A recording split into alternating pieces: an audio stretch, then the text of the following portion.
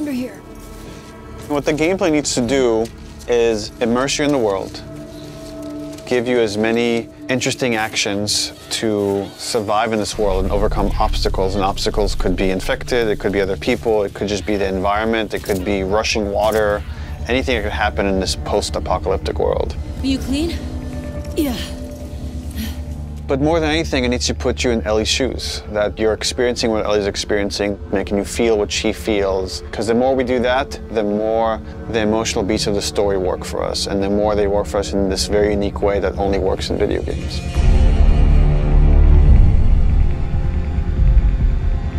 The gameplay philosophy of The Last of Us Part 2 is putting you in the shoes of Ellie and everything that that means. It means giving you a threat constantly, as this world has. It means giving you the hard choices. Because this game takes place in such a hostile universe and our characters are pushed to do really difficult things, we want to put you in alignment with those choices. We want you to understand how hard certain decisions were for these characters, because they're hard for you. I would say the overarching philosophy of how we approached designing the game mechanically is how can we take things to the next next level. Everything kind of comes out of the story. And how do we do it through systems?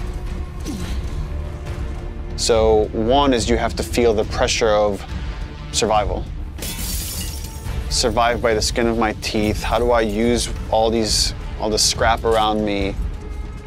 Any kind of bullet, any kind of rag, any kind of bottle of alcohol. How do we give you that sense of being a survivor in this world?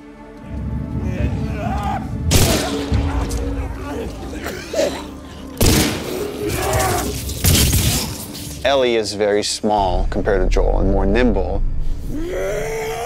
how do we make you feel like you're not the strongest person in the room, but you still should be able to rise to the challenge and survive, you know, a fight with a bunch of people that are all bigger than you.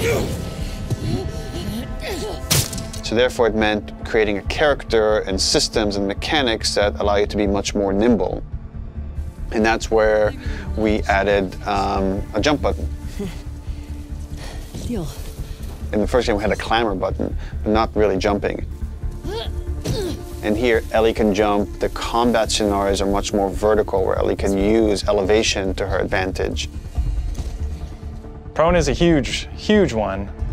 Prone, obviously, means to lay flat on the ground. Uh, something so simple, again, something that in real life you'd be able to do. Letting the player have access to all their weapons, all the items, crafting, everything while in that position. And it just creates so many more emergent uh, things in gameplay. Now that we have this other state that the player could be in, which are very low to the ground, how else can we use this other than just hiding in vegetation? We're like, well, there's a lot of man-made things or different structures that have collapsed that allow just enough space for you to crawl under, which means that now, as enemies are looking for you, you can crawl under things and hide, and it's just one more way to assess your environment and use it to Ellie's advantage. Now, because you can hide under things, we gave the enemies, we made them smarter and gave them the ability to look under things. So while you might hide somewhere and be safe for a while, eventually they're going to start looking under stuff. And if you're hiding under a truck and they spot you, they're going to yank you out and then try to kill you.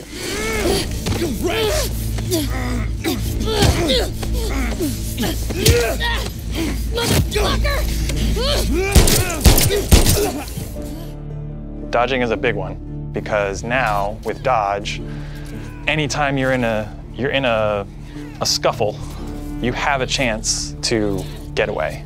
You have a chance to counterattack. It lets escape be an option as well. Sometimes you just got to run. And that is another part of this world, which is sometimes the threat is so overpowering that you just have to get away.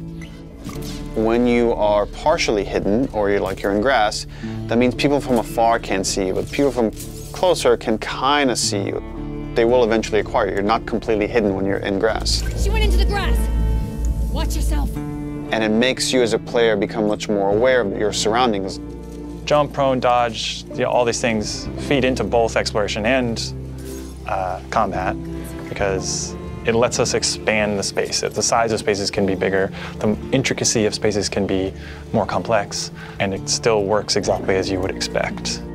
So when it came to our level design, we really wanted to challenge ourselves to make a world that really felt like a real space as much as we possibly could and didn't feel like a series of combat encounters and exploration spaces and then combat encounters that felt like a, a hall of horrors or something, um, but something that really felt like a space that you could explore that seemed like a legitimate uh, urban environment. And that pushed us to make our level design uh, even more open than it was in the first game, which for us at the time was, uh, was pretty open. In this game, we've gone so far in making the level design open uh, that there are actually entire story moments, entire combat encounters, like full scripted sequences that you may completely miss. And there are things that we feel like, even though a portion of our player base may never see these things, uh, the fact that when you do encounter them, you feel like you discovered them, it lends them this charm and this magic that I think is unique to games that, you know, this, this happened to me because of what I did and what the place I explored to. Crafting is very much about a payoff to exploration, meaning that when you enter new spaces, you want to look around for supplies. You want to open drawers and cabinets um, and look for different things that will allow you to craft either items that can help you heal, items that can help you attack multiple enemies at once, such as the Molotov um, or the landmine that Ellie can craft. Items that can help augment your weapons, like the silencer for her pistol, um, or craft new kinds of ammo. It also gives us tons of interesting gameplay choices and overlaps that you can do in any moment and, and on the fly. We try to be a game that wants you to make a lot of different decisions in combat as possible. And the way that we've expanded the recipe roster and all of the recipes and how they interact with each other is carefully chosen for the different ingredients and making sure that you always have these interesting decisions to make. We put a much stronger emphasis on the importance of the choices you make in the long term for your character. Be useful. Through the weapon upgrade system, through the player upgrade system, there aren't enough resources in a single playthrough to fully upgrade your character. The choices that you make, you're going to have to live with. And we wanted to make sure that all of the choices that you made had a really noticeable and tangible effect on the way that you play.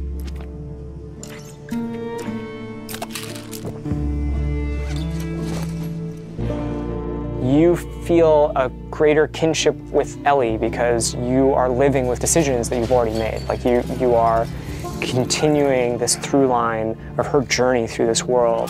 Uh, and the moment-to-moment gameplay is influenced by that in a way that we haven't before. The realization that your choices have these long-term consequences is very much like the nature of the, the narrative of the game. Uh, and I'm happy that the mechanics are supporting that. プレイステーション